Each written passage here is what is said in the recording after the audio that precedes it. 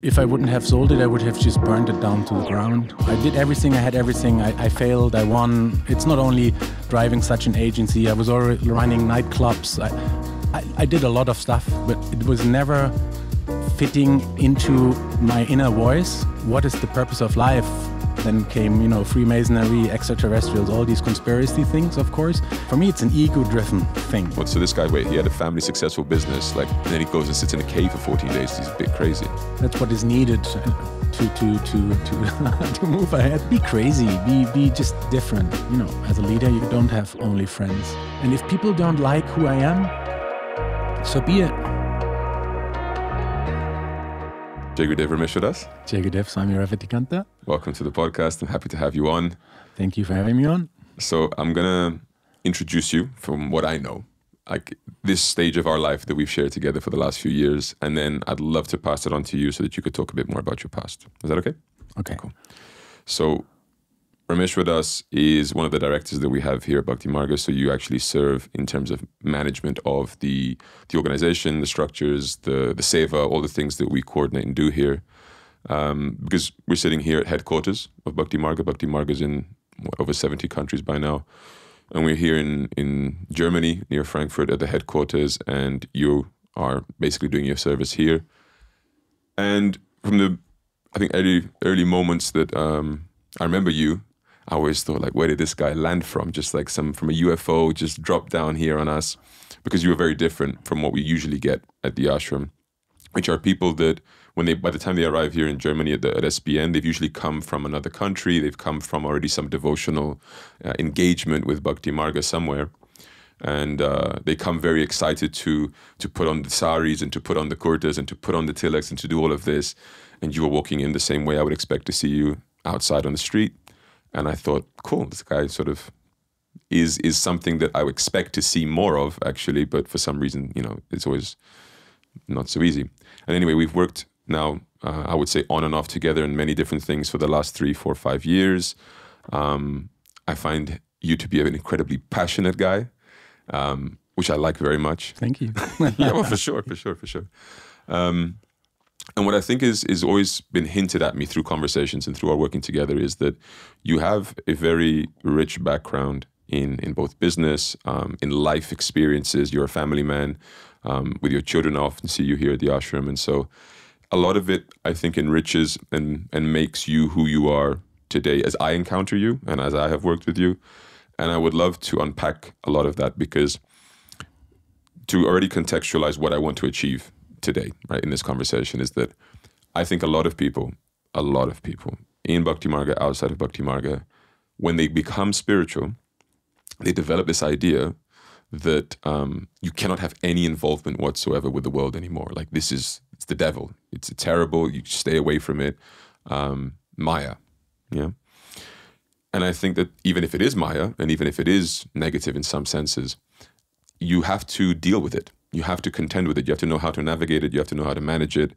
Um, and so sometimes I feel like even if I do a lot of observation and I try to pick up things and learn and teach people, I don't think anyone ever takes it seriously when it comes from my mouth because it's like, well, you're a monk, you live in an ashram.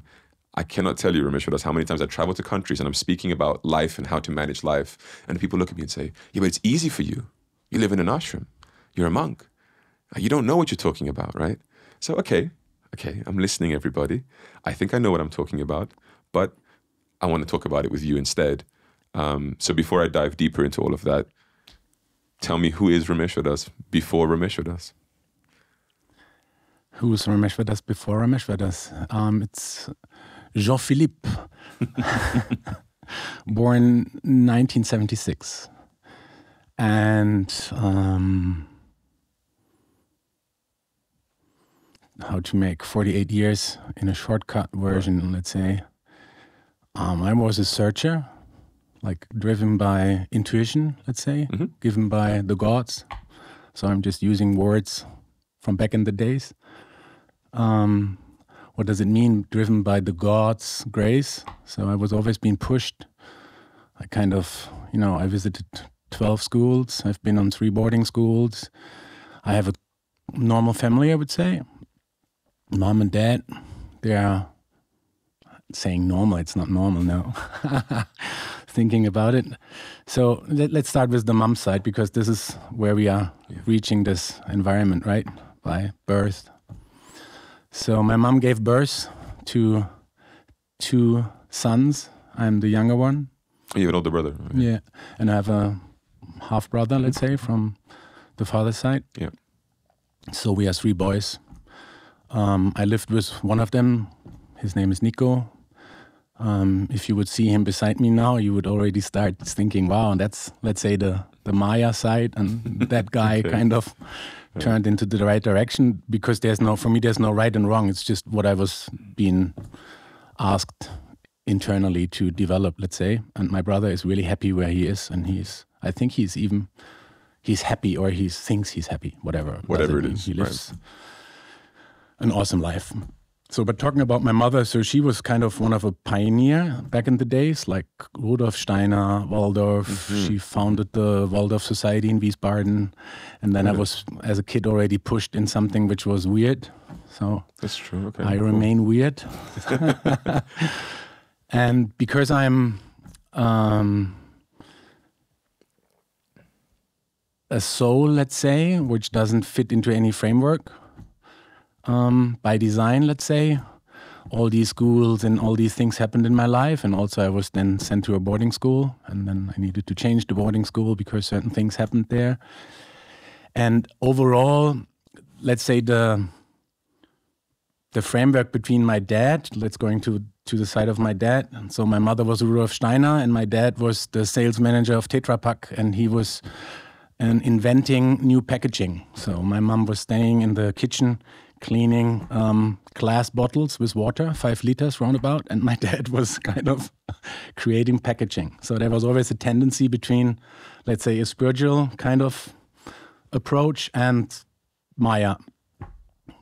You could say worldly, say whatever, worldly, whatever.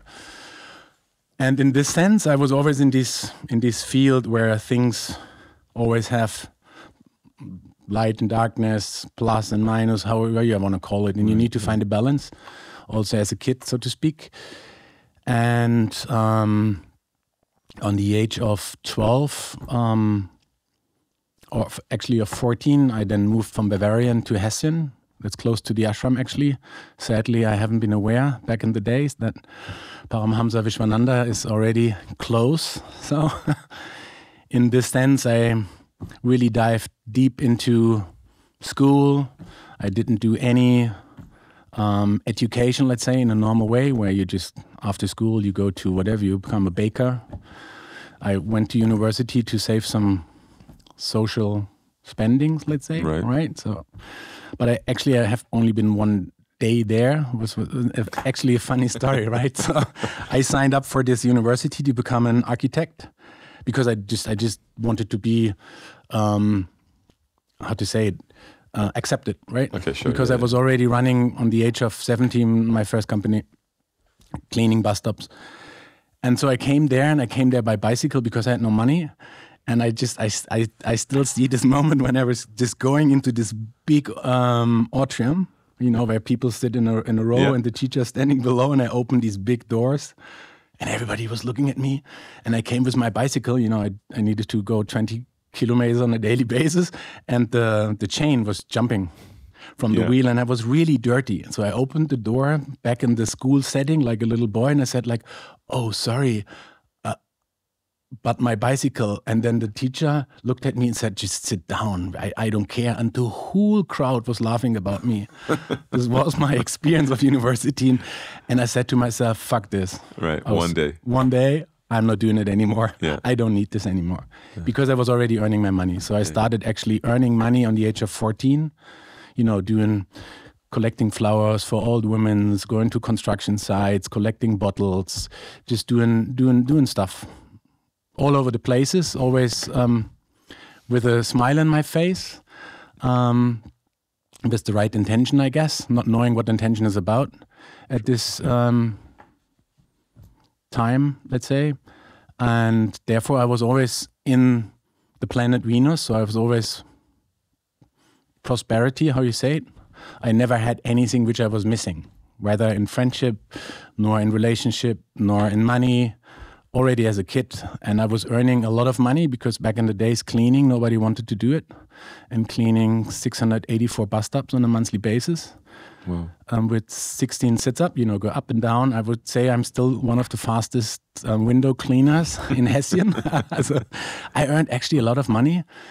And then I started um, creating back in the days where, you know, there was DAT, or and then after DAT came CD, where I said, okay, why I'm actually only cleaning windows? I could just do the prints behind it, right?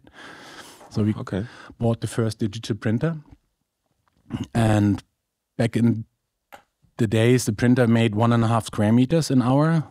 Nowadays, they do 110, 120, just to give you an, an feeling of how slow things Right, right, right, have been The back in the days. yeah. Yeah. And there was no Zoom, there was no real time. So, and then I became a salesman. So I really, having a digital printer, doing the first exhibition stand for a company around the corner. Then I ended up going into um, agencies. And because I was kind of a pretty trained, nice looking, smiling boy, right? The Coca Cola thing, right? Where you just have certain rules, which principles, let's say. If you do your business and what you do based on principles, which is don't have liaisons with your business partners, let's Right. put it in this perspective, you know what I mean? Sure. I ever succeeded to have 80% um, female clients in the beginning. And they all loved me. I was always there. I was no question asked, whatever it takes. I just took things and step by step we developed an, an full service agency in the field of retail brand management. And then I ended up with one of the biggest clients in the field of sports for 20 years. I was kind of doing the European business for them. And they have one principle, which is just do it and actually they paid me to teach me how to um, stay positive and be always You were teaching them how to stay positive, or what no did- the other way around. The other way around, okay. Yeah, because you can once they came to Europe from the US, right? So they wanted to beat the other big brand, Yeah. which is based in Frankfurt, and I was kind of in this lucky situation to to support them to develop all these whatever retail systems, events, and and whatnot was um, needed, and also the real time speed in um, how they execute projects and stuff um, was kind of my nature. Like, yeah, you, you know not- what I'm talking yeah, about, Yeah, right? I'm not. Like- that that part makes sense to me. Um, but okay, so then you're, you're you're basically from a very early young age you just jump into to entrepreneurship in some way or another, and you're not fitting into the university setting. That's for sure. That that's clear. Um, but then okay, w- once you're going into that, obviously, and, and especially now you're mentioning you know 20 years working with a huge company. Um, how do you get how do you stay in that environment being how you are? Like in the sense of like not being your nine to five guy that is very normal and very like in the box. Let's put it like this. Like how are you seen by other people when you're outside the box? Like did you have a lot of interaction with people in the in those places or were you working more independently? I would say I always surrounded myself with people who know better than I do okay. in, in different fields of play. And I kept it to my natural gifts, which is um, being in the field of communication and organization and connecting the dots to, to get stuff done. okay And on the client side, let's say they actually acknowledge and val- value these different approach of of running huge projects, of course. With someone's just coming with a smile and saying, "No problem, we're going to do it," and then you know when I go in medias res in the company, of course, then we just sometimes it's it's pretty similar with what is happening now. Actually, to jump to jump the line. Um, how Paramahamsa Vishwananda Guruji trained me, let's say, if I really look back to the days, what whatever I learned in this timeline is now being really supportive to what I'm doing now the other way around because it's it's seva based, it's working in its spiritual environment, it's not money, contracts and goal driven, let's say. Like it's not the same it's right? it's literally the the opposite. yeah yeah yeah, yeah. and still the same, but you have to do it with, with a different um, spin and intention. Sure. Yeah, we, we can we can get to that later. I'm curious also about that. Um, okay, so but you being in that environment, I think one of the things that, that comes to my mind is at that stage. So let's say you know now we're 15 years into your working with with those with those guys, do you start to see, or did you see from the beginning any any parts of that life that just didn't attract you, that didn't make sense to you, that you were think, thinking, I need something else? That's actually when I when I came to um, Guruji Bhakti Marga because I was I sold one of my companies, okay. and if I wouldn't have sold it, I would have just burned it down to the to the ground because I just didn't. I had, you know, I did everything. I had everything. I, I failed. I won. It's not only driving such an agency. I was already running nightclubs. I, I, I did a lot of stuff back in the days. Successful stuff, not successful stuff, but it was never fitting into my inner voice, which I mentioned in the beginning. That I was always what is the purpose of life?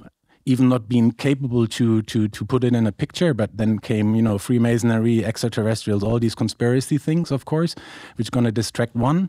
And you can really dive also deep into these um, topics so to speak and shamanism and you know staying in the darkness whatever it means which then the brain gives you a certain idea about this whole environment but actually, what what the, what idea does the brain get? Because like you just mentioned, you were you know involved in some shamanism, for example. Um, I haven't had those experiences. I know of some people who have and, and speak very positively about it.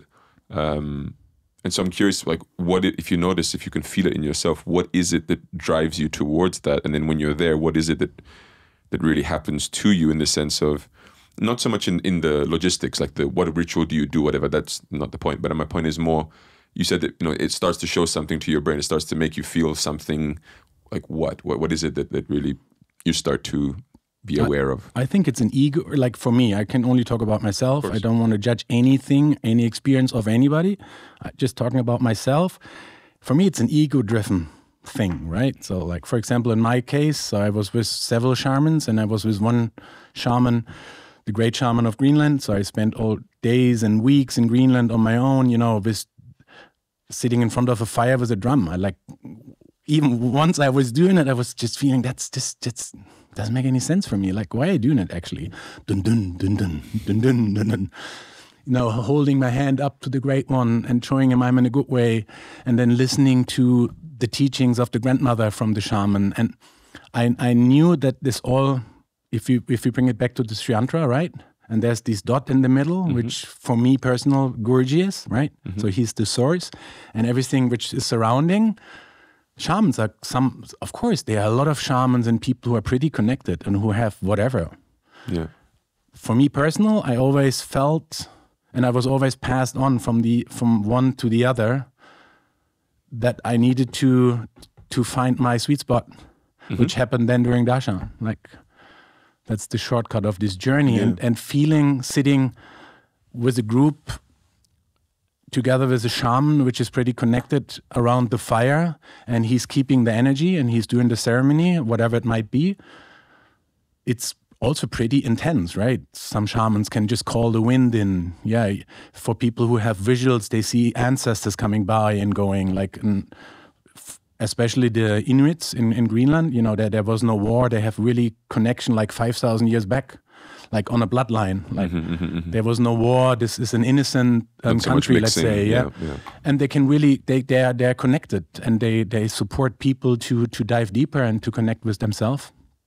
And in my case, I needed to, to move ahead to, to really f- meet this person where I feel that's the zero line now, which happened, as I said before, during Darshan. And I could now jump in a, in a different topic that this was the worst thing which happened in my life that I meet a guru in an Indian uh-huh. environment coming from Greenland, let's say. Or after Greenland was the darkness. So I stayed in the darkness and. And you went into a cave? Or, yeah, in a yeah. cave, like fasting. For a retreat, fasting, like a, yeah, like fast, a fasting, sort of thing. Fasting 30 days and staying 14 days in the darkness. Why did you do it? Because I started actually with Robert Monroe, you know, these mm-hmm. binaural sounds you can put on, on headphones and then you can travel out of body. So I was thinking, I don't believe it, but give it a try. Not because I don't believe that out of body or the soul. Right. No, I have always been in this field because of my mother, that there's reincarnation and we have a soul and a body and we do an experience. But to experience something like this, I really took the effort to to to put on these headphones and you need to ask uh, my wife like i was literally going to bed with headphones and then you have to wake up yourself in a certain frequency to to get this point when your body falls to sleep mm-hmm. and your consciousness stays awake. And once i reached this point i just the goosebumps story right? Like i get goosebumps. Once i reached this point i knew wow.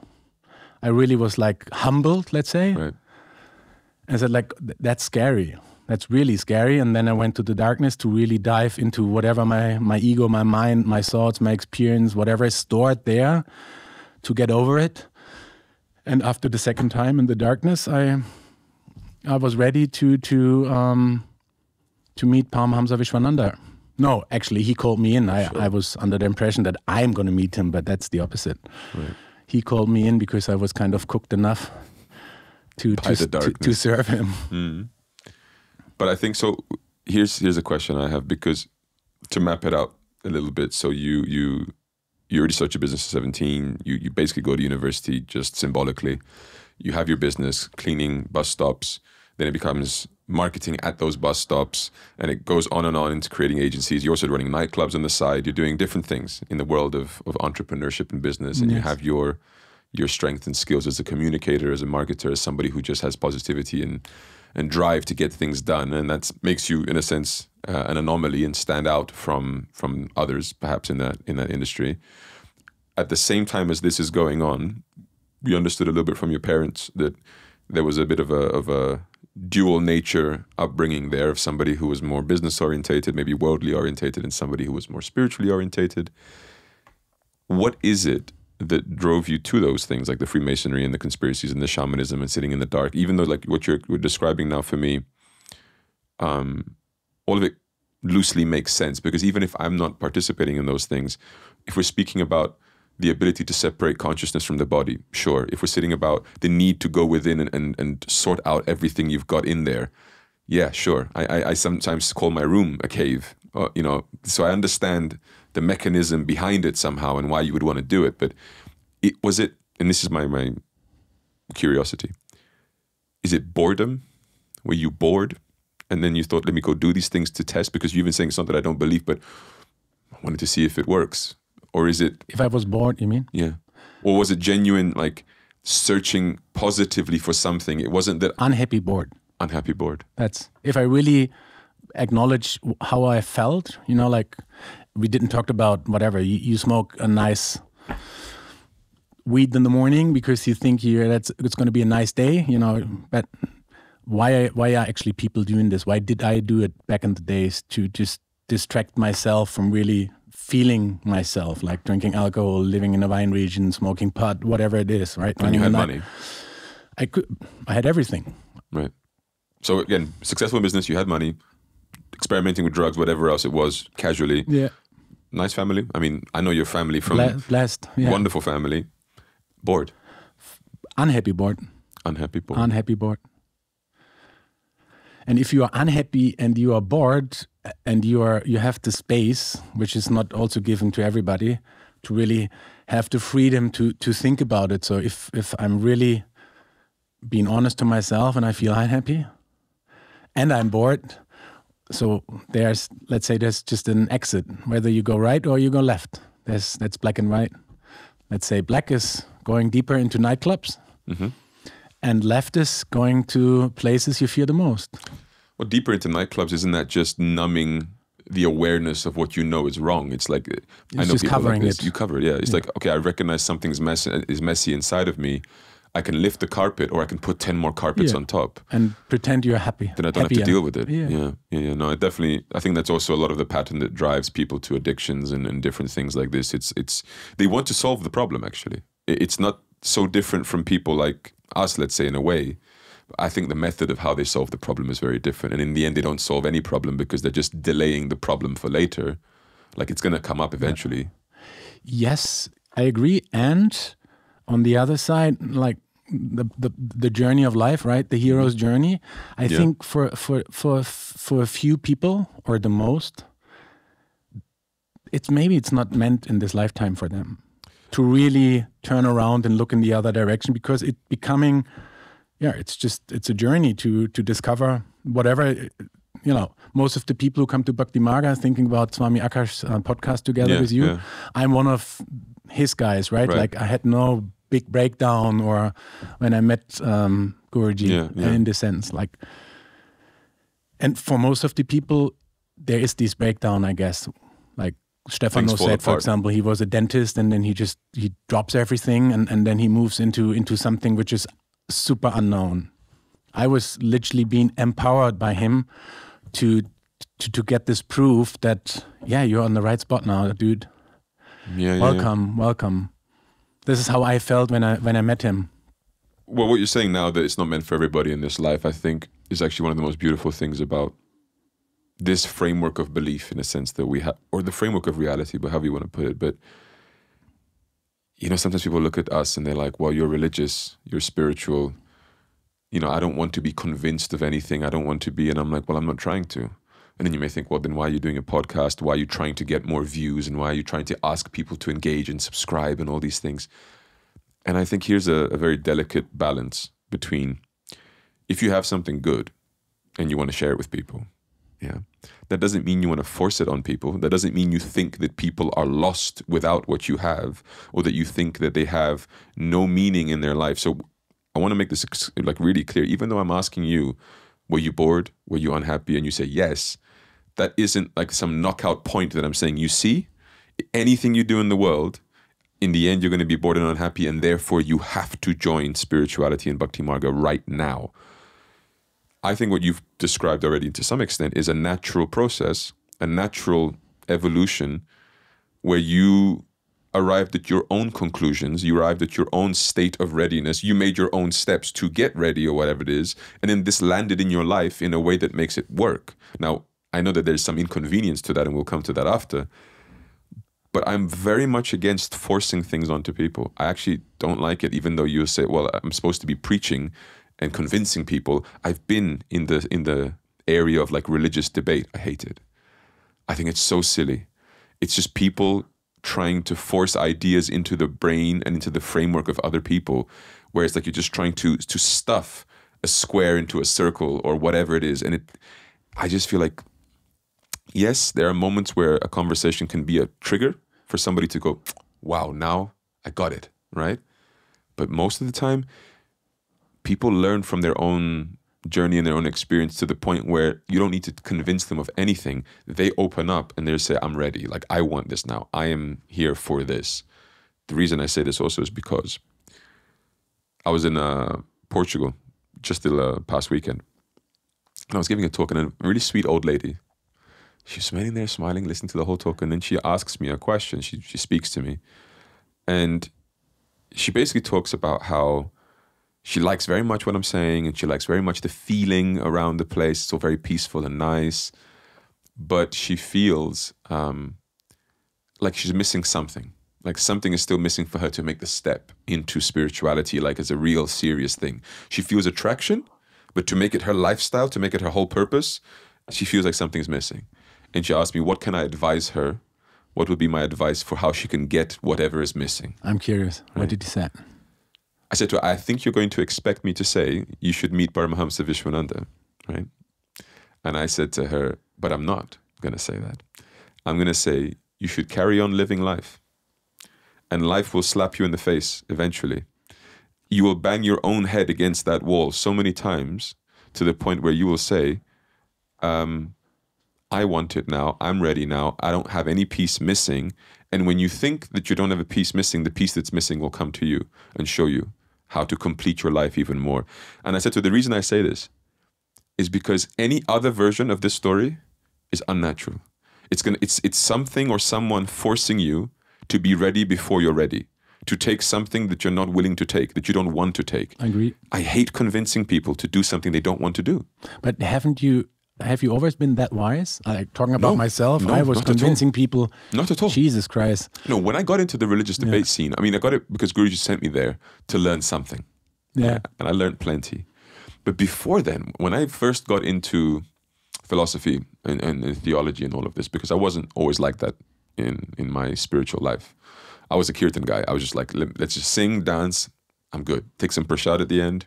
That's life, right? So when I got into into thinking and into ideas and, and debate, and I studied a lot, I read a lot, I watched a lot, I participated in a lot, and there was hundred percent a fire of like, now I need to write books and I need to convert people, and I'm going to go and challenge this guy and that guy there. His argument is stupid, and I'm going to go and debate him and convince him. All of this was the energy. All of this. I still feel like I can do that if needed, but it's I just don't have any attraction for that because once you, it's like um you know, people in show business, like actors, they always talk about the industry and say it's not what you think it is. Like it's heavy stuff, or you think you want fame and then you get it. I've had that realization at almost every step of my life in Bhakti Marga. I think I want this, I get it. It's not what I thought it was. And then you have to like reimagine and get a new perspective to make your new peace and new acceptance with what it actually is, not what you thought it was going to be. So, for example, this. If I had met someone like you and you tell me I'm bored and unhappy, I would have gone like this.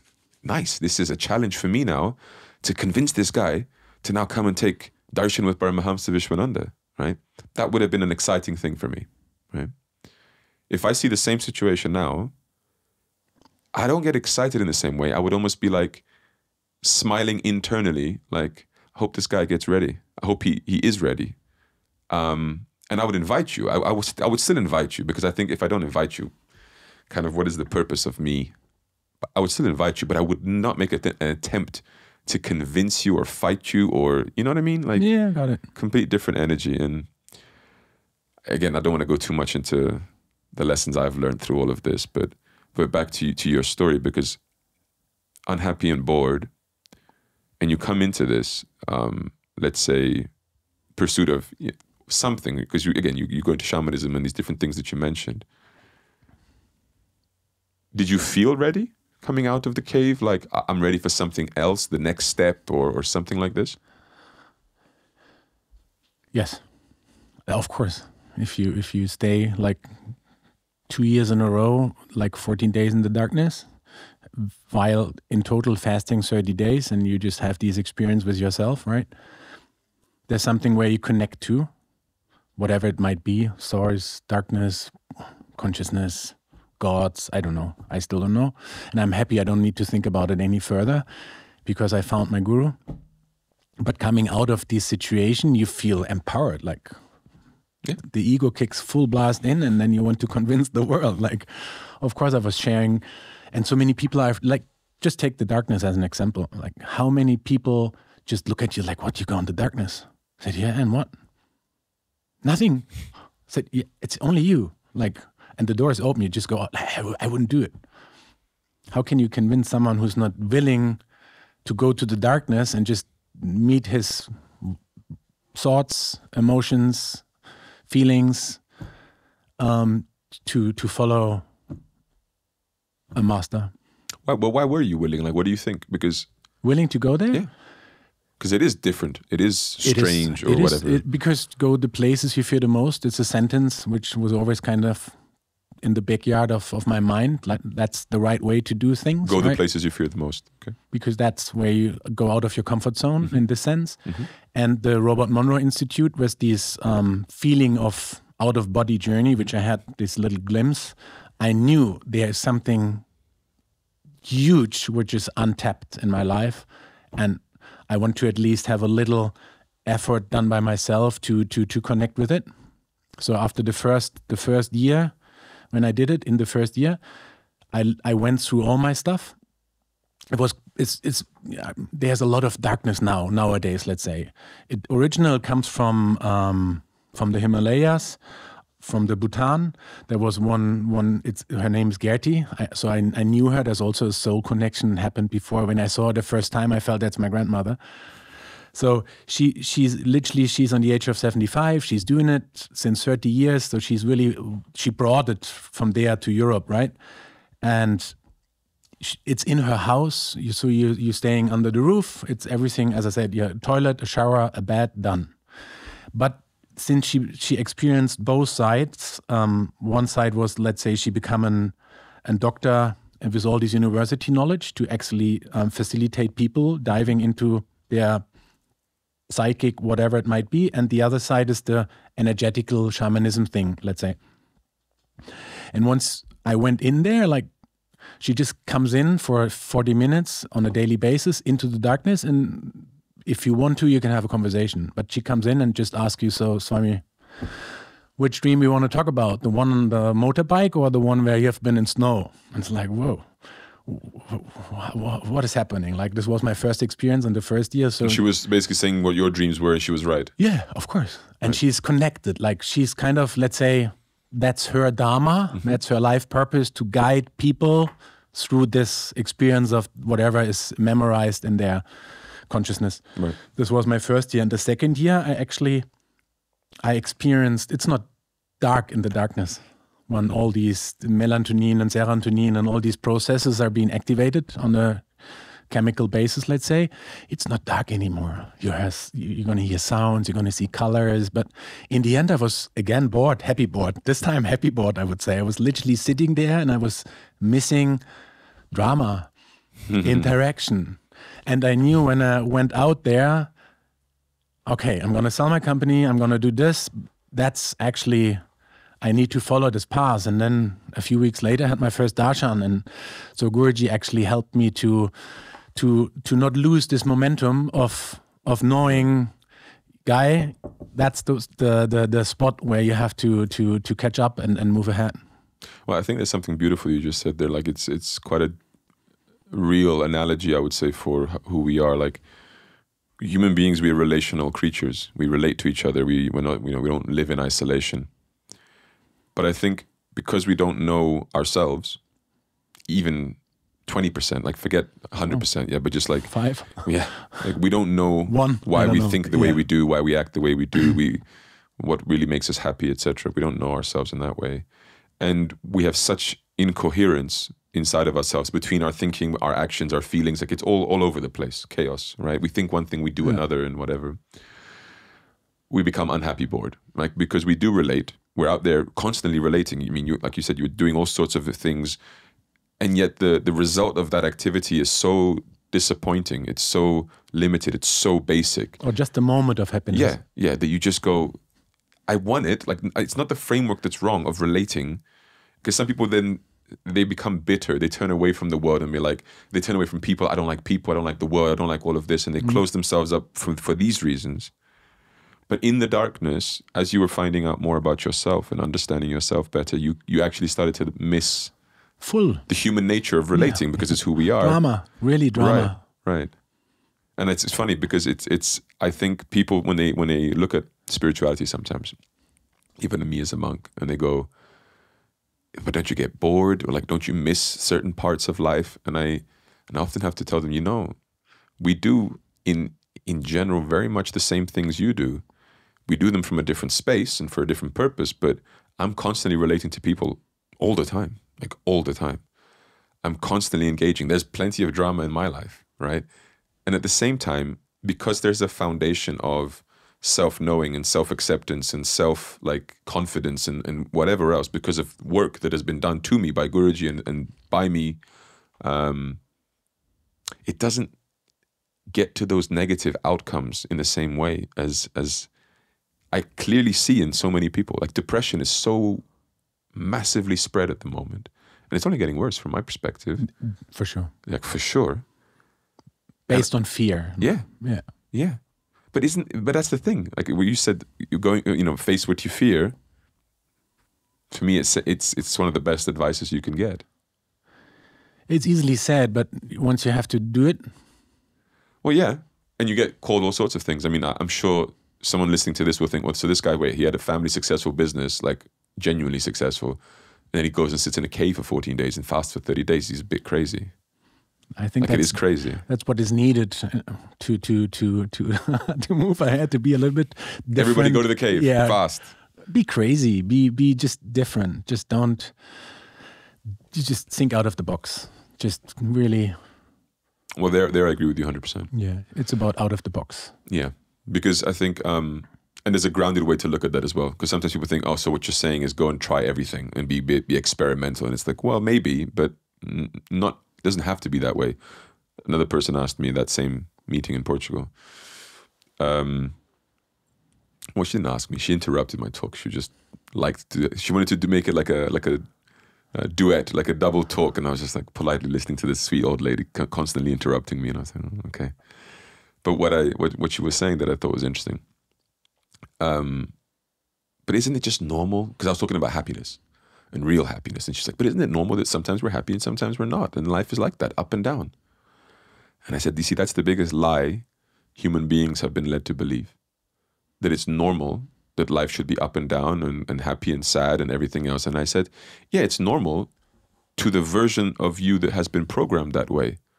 And if you do what everyone else does, you will get the experience that everybody else gets. And then you call that normal, which is sometimes I have a good day, sometimes I have a shit day, right? And I still live like that. Don't get me wrong. I still have days when I'm when I'm feeling much better and much worse. That isn't my point.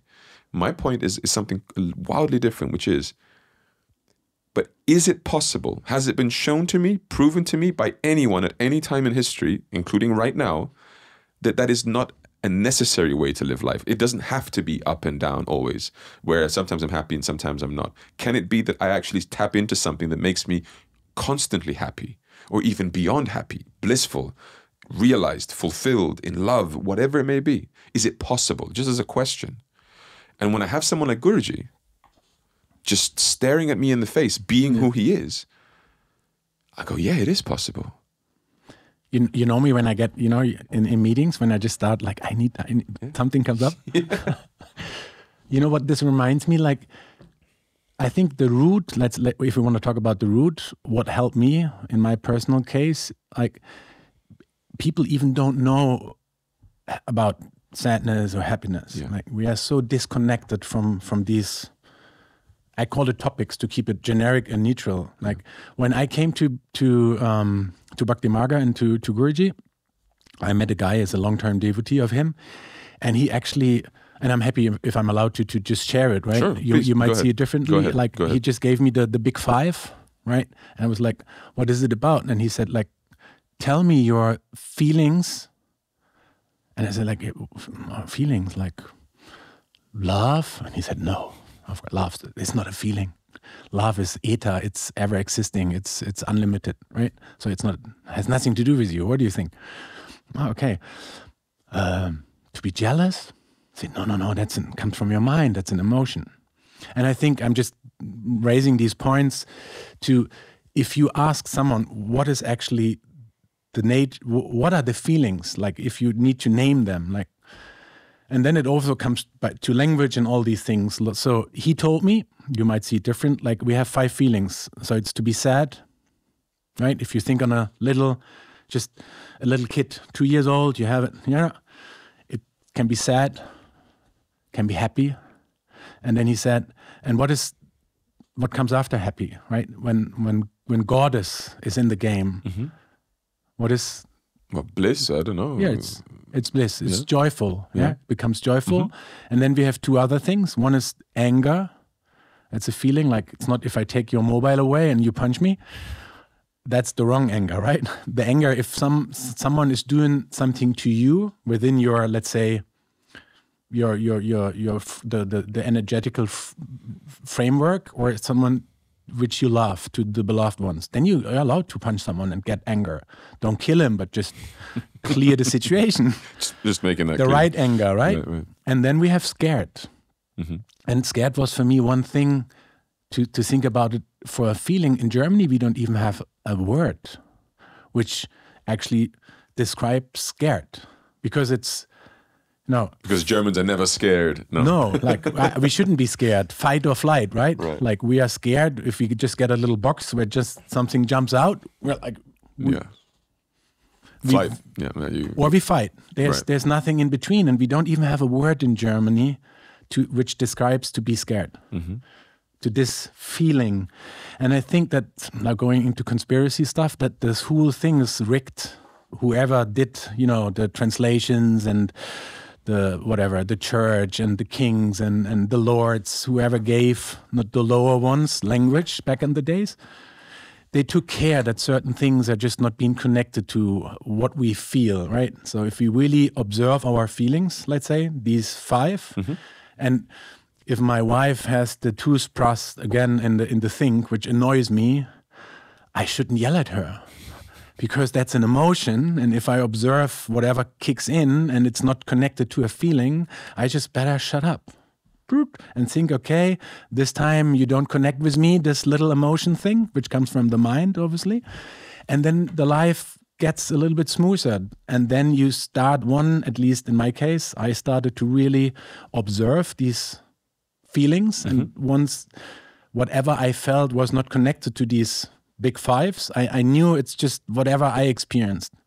And now connecting with something which is happening to show me that I didn't went through it back in the days. Maybe my mom always told me I have to do the glass to the left side, and now the glass on the right side is just annoying for me. But I'm not going to communicate it to you because I observe myself and I knew it's not a feeling, therefore it's mind based, it's ego. I better don't do it. And and then you transform and you go a little bit deeper into who are you actually in this moment if you observe the outside within, what is happening. And this is what I did personal to to to get to know me better and then really know you know coming out of the darkness feeling happy. Yeah like you are in the light again. That's it's done. Like this happiness is done and then you have to to see okay what i'm doing and how to to to connect to this feeling again which is i guess still so limited compared to what an, an realized being sure, might sure. feel in to be happy, let's say, to to have this everlasting happiness? Well, I think I think the darkness, even if you look at the back of the darkness, the darkness is a metaphor. Also, it's not just a physical thing. Right, the darkness of is just where you can't see. The absence of light just makes you incapable of seeing, feeling, whatever it is. But as you said, you start to adapt, right? But I think it's also this, like in, in general with ourselves, we have to go into the unknown, the dark, yeah, to find the great the greatest thing that is available to us. And i think it lies in the unknown not in the known. Because if it was already in the known in the in the quote unquote light that we currently have we wouldn't be feeling 1% of what we feel. How could you feel bored? How could you feel unhappy if you would really have the light like the real the real stuff right and so I think that the, this is true of every human being, and I think it's it's a perfect description of what every human being is doing. It's that they're choosing every day whether do I go, is today the day I go into the darkness to try to to solve whatever it is that's in there and to discover whatever it is that's in there. And again, I'm not I'm using darkness and light as as more symbolic or as analogies because I really mean it more in the sense of the unknown. Do I go into the unknown and risk it? Because I don't know what I'm going to find there, and that's the fear. That's the scared part. And stay there, even the door's open. Yeah. Am I going to go into the unknown yeah. because I think I may find something greater than what I have now, or do I stay in my comfort zone of the known? which has its normality. As I said, some days I wake up feeling good and some days I wake up feeling completely depressed. And the only reason that I find most people feel comfortable staying in that. No, but if you if you if you isolate them and you speak to them one on one, they will all tell you, "I'm not happy with this. I want more. I need something more." Yeah. But when you get them in a in the pack, everybody together, the reason that they accept this and they become comfortable and they build their entire frameworks around this, education systems, careers, everything is is taking into account the fact that we are going to have these ups and downs and we have all these limitations. It's because everyone else is doing it too so it's normal. It's amazing how we are psychologically like wired to be like this. If i'm crying and i think something's wrong but i look around and everybody else is crying too then suddenly my feeling is dismissed. I, I felt something was wrong but actually it's not wrong because everybody's doing the same thing so it's okay. There's this feeling of comfort and, and okayness that comes from just knowing that more people are doing the same thing right? And i think that you have been somebody that uh, in different moments has provoked people if i'm honest observing you from the Still outside. i guess. Yeah you provoke people. And i think you provoke people primarily because you're so in touch with this principle of going into the darkness or going into what is unknown and therefore living differently you do things differently you are different because you're not, in my opinion, sticking to what everyone else does in, in a way, right? And I think it sounds to me like it's something that's driven huge parts of your life. Like not only now in Bhakti Marga, but just throughout. It's ongoing. It's ongoing. Throughout. And I think that that's something that everybody can learn from this. And I think it's somebody that something that we need to do. I I often talk in the Guruji perspective that the biggest thing he has done with me Um, because sometimes I'll go and talk to somebody and they'll, they'll think they're asking me a very great question. They go, What's the number one lesson you have learned from Paramahamsa Vishwananda? And I just think, I hate this question. Because how do you think I can condense 20 years with a person like him into one lesson that I'm going to tell you now? I don't like it. I, I, I want to tell you 20 lessons. I want to tell you an entire architect plan that he made for my life. And it's manifesting day by day. Like it's not so black and white. And it's definitely not so shallow and simple that I can answer you in one point. But because we have to play the game, I'm like, okay, I'll give you one point. I'm curious what you're gonna. One point that I would say is um, 100% actually aligned with what you just said. He constantly pushes me go beyond. Like, and what's the next level? So you, you think you're smart? What's the next level of smart? You think you're devoted? What's the next level of devotion? You think you're confident? What's the next level of confidence? You think you're anything? Just what? Asking the question, what's the next level? You think you know God? What's the next level of knowing God? You know, you think you you you've understood the world. What's the next level of understanding the world? And the reason I say this, it comes back to to actually how I wanted to have this conversation with you. In the Isha Upanishad, it's one of the the scriptures from the Vedas.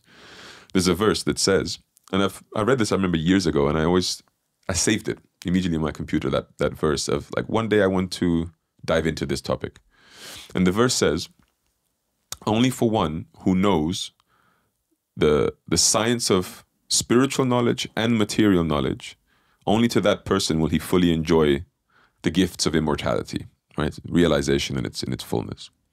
Only one who who is an expert in both fields right? And so, therefore, Guruji telling me, next level, what's the next level? I always feel like at some point in my life, whether I like it or not, I have to get to know everything a little bit. Like I have to face it. I have to face the world. Okay, world, you are Maya, you are limited, you are all of these things that we like to throw away so easily, these cheap words that we read in scripture. Like, and I believe in them, don't get me wrong, but what does it mean for me? Can I can I go in there and be untouched? Can I go in there and influence it? Will I go in there and be influenced by it? What is it? What, what is my relationship to this thing? Hey God. Hey Guruji. Am I influenced by you? Uh, do I try to influence you? Do I go in there and touch you with my love and devotion, or, or do I only come in to steal, to take, never to give?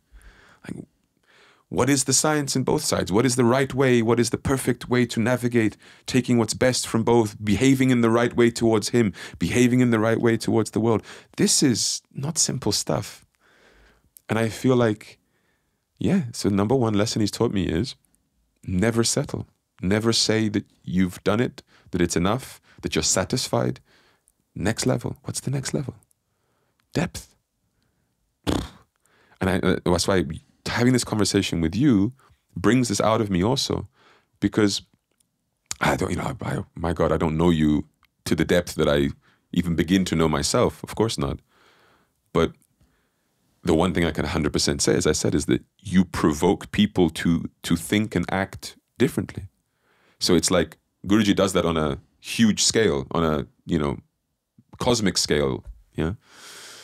But I feel like in some way, and this is why I'm curious to know more about your life, is that in some way you have learned that along the way, along your path. That you picked that up from somewhere and you've put it quite deep inside yourself to don't follow the line that everyone else is following and to not stand in the comfort zone and to not tell yourself that, you yeah, know it's okay, it's enough.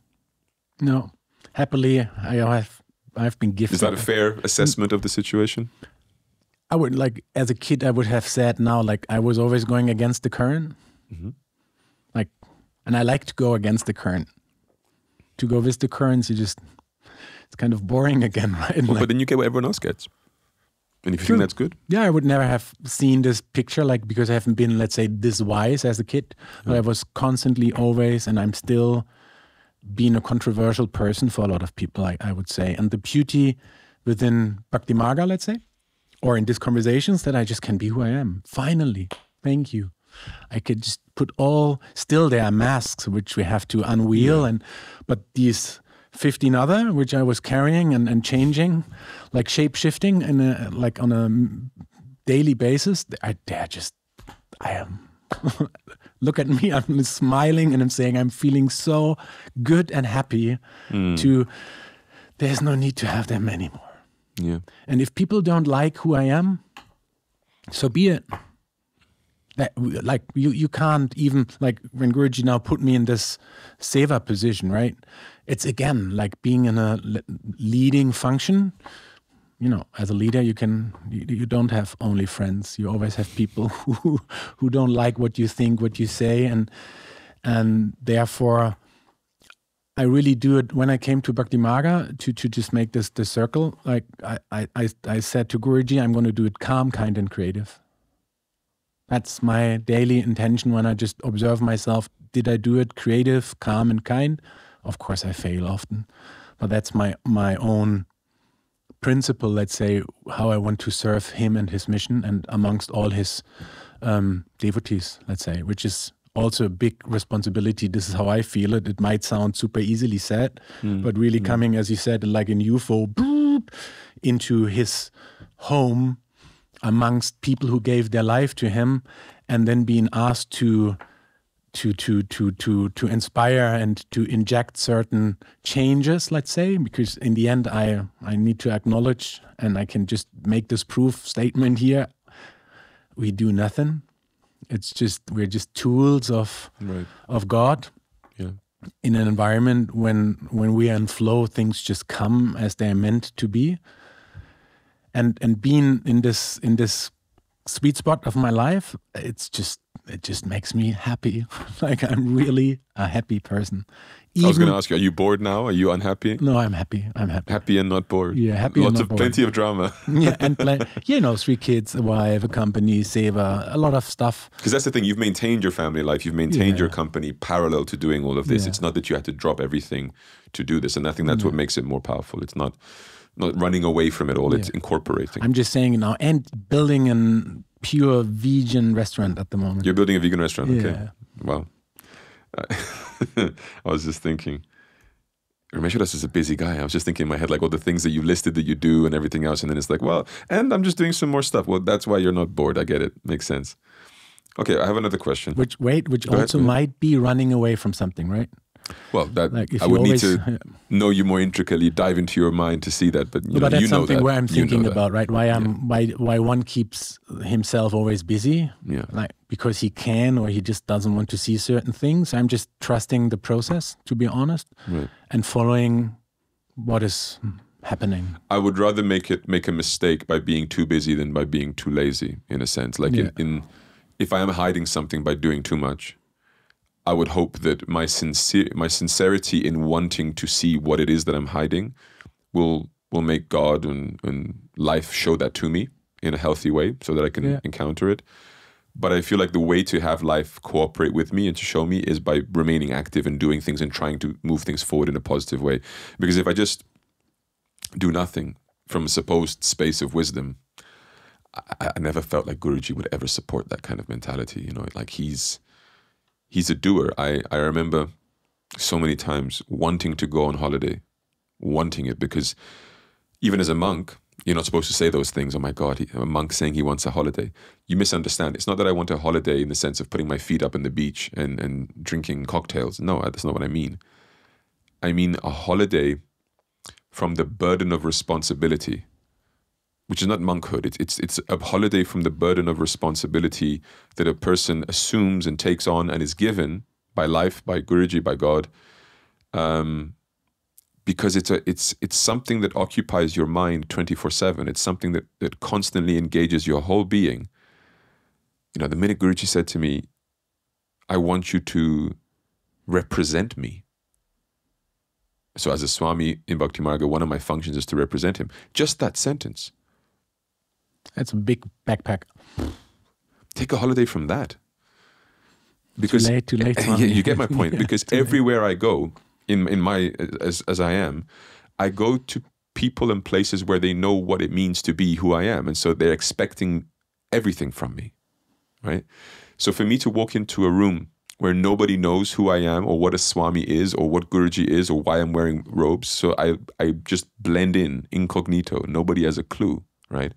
Is the only setting I can imagine in which the weight of responsibility would be removed from my shoulders. But because I never have that experience, the weight is constantly there. And I don't say that I carry a weight in a negative sense. So I, this I think everybody needs to understand. So, for example, imagine that uh, um, you work out. You go to the gym and you're working out. You're doing it on purpose because you want to, because you want to develop health and muscles and strength and all of this, right? So it's something that you choose to do. It's it's for a positive reason, for a positive outcome, but it doesn't mean that there are limitations to how much you can handle. That at some point you have to just drop the weights and take a 30 second break so that you can do it again in a good way. Because if you just keep going without the break, you have a muscle injury, you'll tear the muscle, whatever, right? And so often feels like that. Like as much as I'm, I'm, you know, listening to your example and I'm sharing my my thoughts and words, like, guys, let's do something out of the box. Let's challenge ourselves. Go to the darkness. Sit in the dark. Go to that which is mysterious. Face your fears. All of those things that we said today, which I love. But do it in a calm way. Like do it with breaks. Do it in a way that is reasonable for you, because otherwise, you can't hold that weight for so long. You, you think yourself a hero. You're not yet a hero. You know. And I feel like there's the expression that the road to hell is paved with good intentions. Like good intentions is the pavement for walking to hell, you know? And I feel it's because people create ideas in their head of being far more heroic than they are. Somebody came to me recently said, Swami, I want to do what you do. Good luck. Good luck on this. I said, what, it, what is it that you think I do? Being close to Guruji, maybe? And well, yeah, they, they didn't mean that in that moment, but that's something that often comes about. But they said, no, I want to help people like you help people. I said, well, first of all, thank you for saying that I help people. Um, I'm definitely trying to, right? But can I tell you what is dri- can I ask you what is driving that? What what is it that you want to do? It's like I just feel like whenever I do selfish things, it doesn't make sense for me. I feel like I waste my time. I want to do things that make a difference in other people's lives. This is what I really feel inside. And I said, that's beautiful, beautiful. But before you do that, you're going to have to be way more selfish. I said, What do you mean? Said, you're not ready. You cannot give people what you don't have. You cannot help somebody if in helping them, you're going to fall down. Then you're no help. If someone's drowning, you go in there and you want to help them, but you don't know how to swim. Then instead of helping them, now you have two people drowning.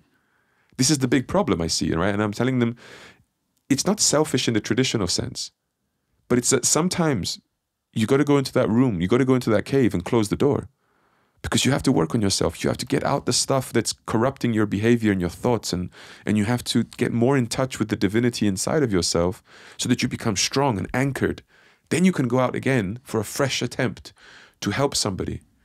You, you go down the stairs to, to pull someone up. You don't go down the stairs to give your hand and then get pulled down, right? And you can only do that if you're strong, that you can hold the person and lift them right? And how do you get strong? Yeah, practice. anyway, I, I, could unpack this a lot more. Reminds me to actually to your practice, right? Just throwing it out here, just having the conversation with you, seeing you now since nearly six years, being in the proximity to um, Paramahamsa Vishwananda, like which, which is in itself already a gem. Just being beside him, of course, and you are serving him for so many years. Just yeah I always said chapeau. You remember when I said like, yeah, it's it's not easy to to to yeah to survive these kind of situations ongoing, representing him, serving him, observing yourself within within this situation.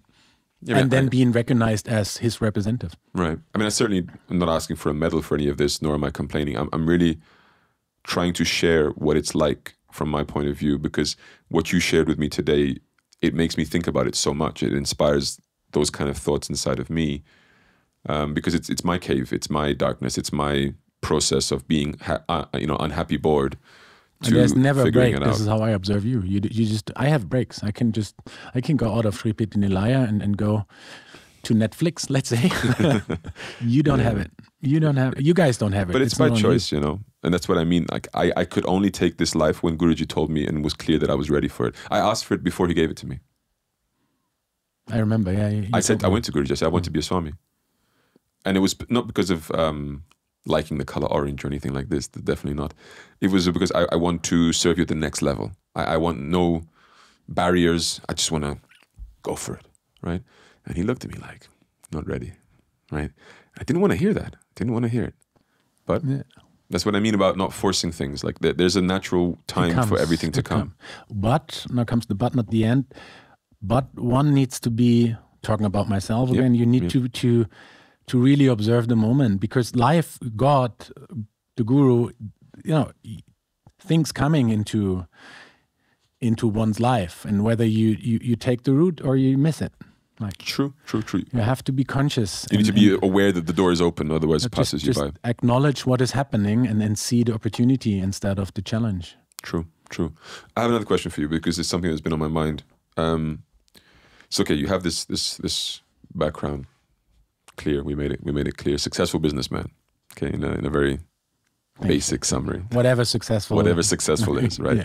By worldly standards, they would probably call you a successful businessman, right? Um, successful family life, by whatever again that means, right? Um, and then you come into Guruji, you go through that whole process of, of figuring out what it is that you were missing. You're ready. Guruji enters into your life. He throws you in the deep end. He asks you, "Come, I want you to help. You know, managing Bhakti Marga, serve as a director here." I remember the the first meeting we had with you. Everyone was kind of like, "Did we vote for this guy? Is this like no? Oh, okay, no." Guruji just threw him in. I mean, half the people didn't even know who you were, right? Which is I have been three times in Shree Peetha Nilaya. and then immediately he's on the board of directors, just for everyone to understand like how crazy this is, right? But Guruji's Guruji. And I feel like I know you so much from the professional side of it, like the work life that we have together, the, the projects, the seva, the the meetings. And I never ask you from a personal perspective, like in your individual, private, personal life, how has Guruji affected it? How has it changed from year one to year two to year five? You know, outside of the seva, outside of the functions and the roles and, and all of that? Like, what is the biggest changes that you've seen in your life? Hmm. You see that I'm just nearly crying. That's what happened. That you know, what what is Guruji doing to one's life? Like he's just connecting you to your your atma, your your higher self. And once you get in tune, I'm just feeling thankful. I'm I'm I'm feeling thankful. This is what happened. That I can really say thank you to someone, to something about something, to really and mean it, right? You easily said thank you. Like to be really thankful. To be humbled finally, right? But to serve him in this environment. Still I'm controversial for a lot of people. Nevertheless, I'm still around, let's say. I don't know how long he's gonna allow me to serve him in this seva function.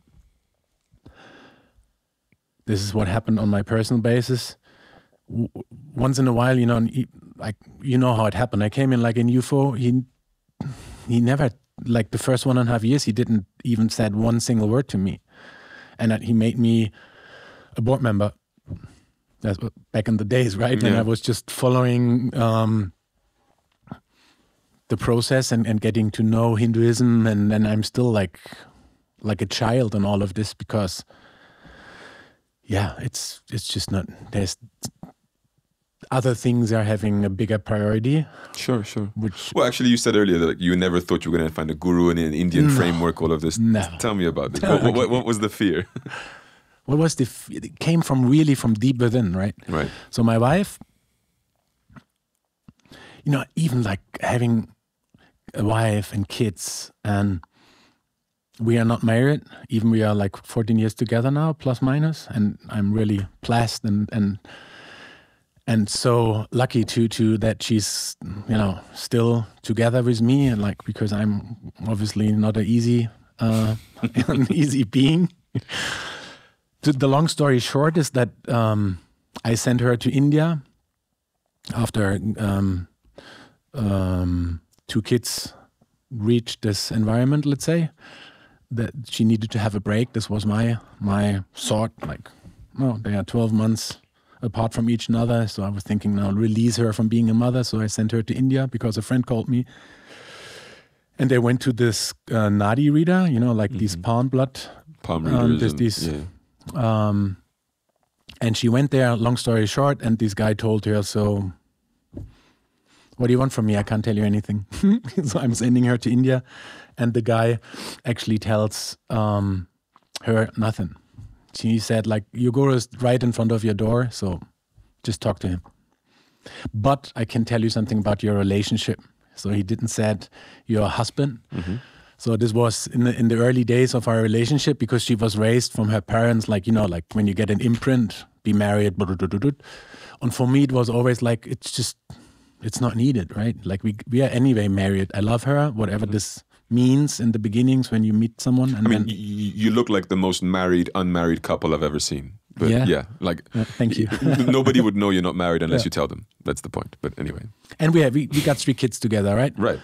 Um, so that guy told her the guru is in front of your door, but he told her something about our relationship back in a previous life. So when she was in the Brahmin class and I was in the Untouchables, we f- we we, we fell in love. It was forbidden.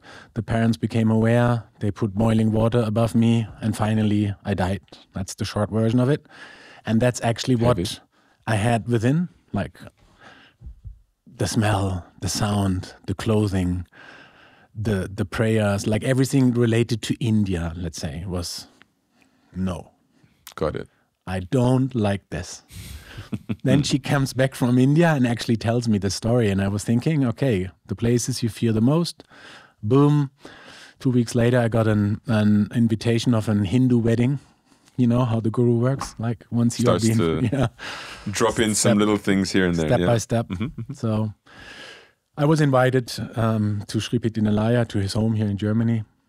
And the guy who invited me actually had a key to everything because he was doing facilitation. So I, I actually dived deep into every room, the museum, the temple was built was being built at this day. And I was coming home and and actually sharing to um, my wife, Haraye, what this place is about. Because I was thinking, like, you're drinking some chai, having, You even having call her your wife. I told Yeah. you. You're the most married, unmarried people ever. Anyway, drinking chai, go on. yeah, having having these nice saris, which I didn't like, right? And and you just, where's God? You don't go go for prayers to do something. Not for chai and saris. judging it to the uh, Max. to the max. and once you know, I dived a little bit deeper into it, just started making sense, right? And then the first darshan, and Guruji just gave me, I let's let's call it a vision. Like I was literally sitting in the darshan hall, and I was thinking, first of all, that's the guy. Even I don't like it. That's the next level, the next step, whatever. The teacher, let's call it the teacher. I felt this guy.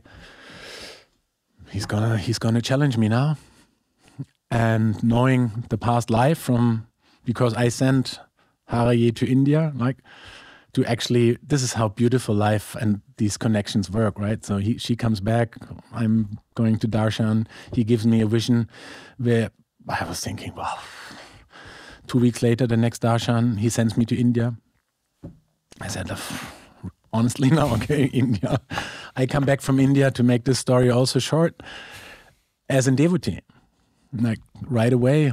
And within India, there are, you know, certain things happened there This was in Vrindavan. You in to Vrindavan, yeah, yeah. Where I just, you know, I, I became a devotee Yeah. on a shortcut.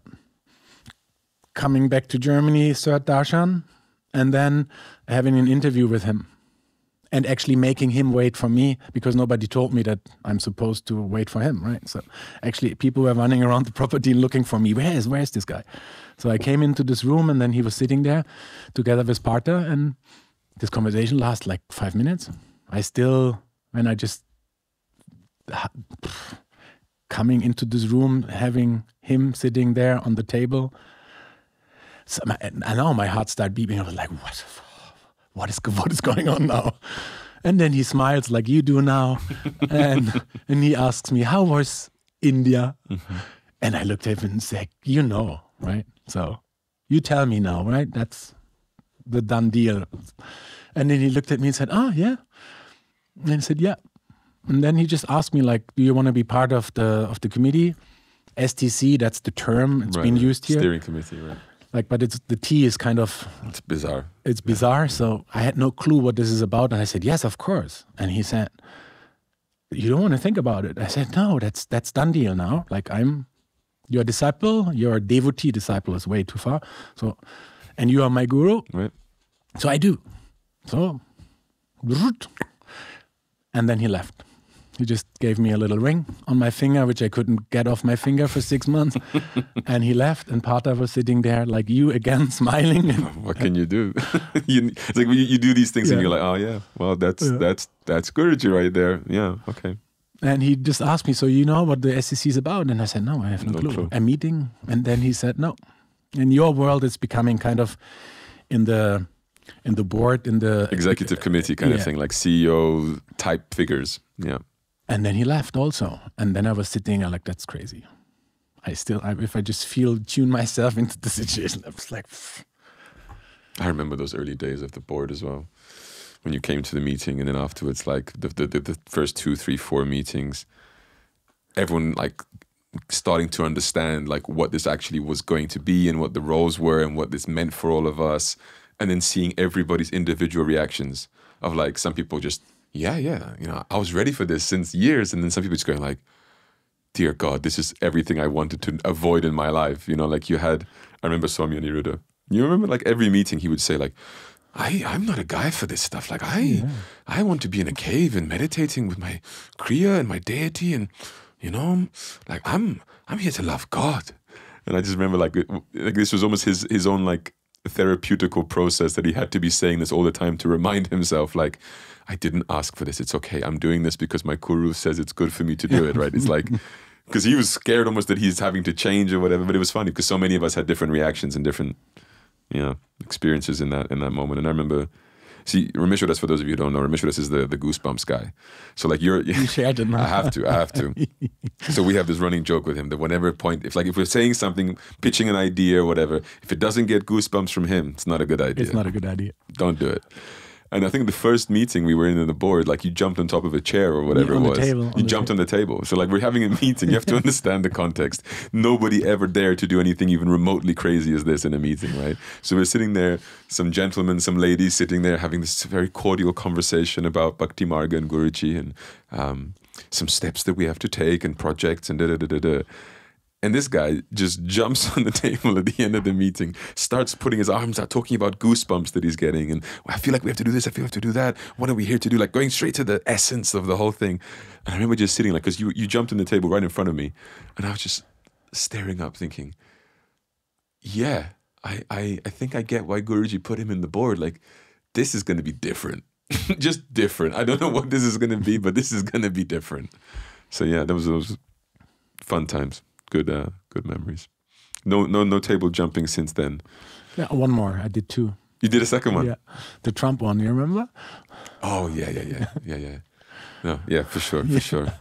We were we did a we did a a workshop recently, some some couple months ago, and I think I was counting, I was tracking how many goosebumps you got per day. We did like a seven day workshop on the board, and I think it was one day you got seven times goosebumps, and I just thought this is so insane. Like you had them in your legs, you had everywhere.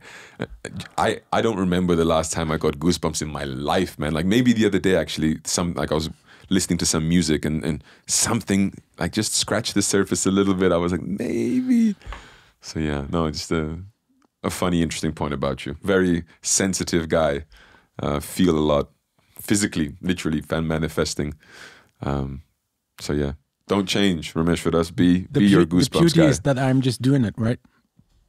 And maybe I'm doing it because I couldn't do it for plus 25 years, talking about goosebumps, Expressing everything. just being who I am. Like, love it, and if I love something and I feel it's right, like that's the place to say. love it. And but we also need to acknowledge, right? Having let's talking about board meetings. Yeah, um, it's just like working in in the framework of Bhakti Marga with all of you guys. It's still such a beauty because it's so different.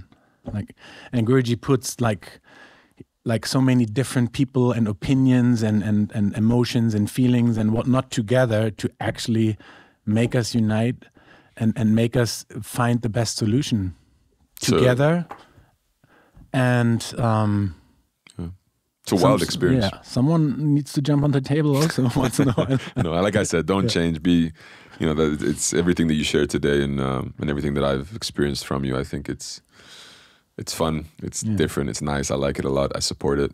Um, the most or I need back to the family this I want to share like one of the most ex- expect nothing and then you can't be disappointed right Mhm. what I didn't expect it to just use this term is like what happened to my to my family life like living just 20 k's of far away from from the ashram. Yeah, and now having the kids growing up and like with all of you guys. Yeah. like that it's they're super integrated. You have goosebumps. goosebumps you see? Goosebumps. It's such a grace and i'm so thankful about it to to have the kids with you all of you. Like you gave your life to guru and god. Yeah, you don't do any wrong let's say we not to. we are coming in this environment like sometimes like even now in germany there's a big snow being mentioned in the in the news like every every the, the schools are closed today yeah. but nothing happens outside so far so the kids are actually i don't know where they are they're just that's their home here Just Like, somewhere in the ashram. Yeah, they're just running around here now i took all their stuff i told them i have no time dad needs to do certain things so they go to the kids room they maybe they are now in the sound studio or in the kitchen like they are having an, an home in Shree Peetha Nilaya. Guruji asked the, the little boy to serve Krishna on the altar. Like that, without words. That's that's the most beautiful thing which happened in my life. Having this dharma of raising kids in this in world which is falling apart currently. It's like out out there. You, you know you know what I'm talking Yeah, about. yeah. Like Yeah, fear and the depression and and whatnot is happening. And this digital environment you had a podcast about it, like to have them here to to to to be part of it and to be allowed to to um, to have this experience together with them. They actually don't want to be at our. We have a nice place, right? We live you do. the- Yeah, but they just want to come here. So every morning, and if they don't go to prayers, he actually becomes pretty pissed.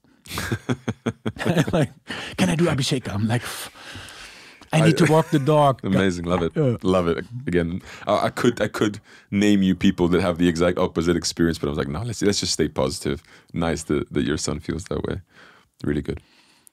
Well, thank you for for having this open exchange with me. Thank you for having me. Um, I'm sure we could, you know, you could go on. of course. How long did we do? I don't know. I I don't, don't know. know either. It's it feels it feels feels good. I think we can leave stuff stuff for a future conversation if we if we need to. I think I, again my summary is that I I appreciate having someone like you around for sure. Um, from my side, I mean it's not nothing to do with me, but just from my point of view because it it makes me think also that we can be more than what we are. I, I don't see Bhakti Marga and what we do as being exclusively a Indian Hindu um, religious conventional ashram you know temple community. I see us as a community of people who love God and who do it in the framework provided to us by Guruji because he becomes our reference and that needs to fit in everyone's journey and it needs to be as open and, and accommodating for as many people as possible with very different personalities and very different lifestyles and very different everything and so i like it i love it that, that you are here with us adapted in like completely in as your whole family is and at the same time you remain individual um, and i like it very much so thanks for having thank you. this chat with me And just to maybe to give it out to the world, like just as Swami Kanta said, 70 countries plus. Feel welcome. We welcome everybody. Guruji's welcome everybody. There is no in and out. And these are lovers of God you're going to meet in these places. And there are a lot of beautiful ashrams around the world already. Really something to, to you know, back in my seva function, just come to to our website and check it out. okay awesome well Thank you, Swami. thank you very much Jai Gurudev.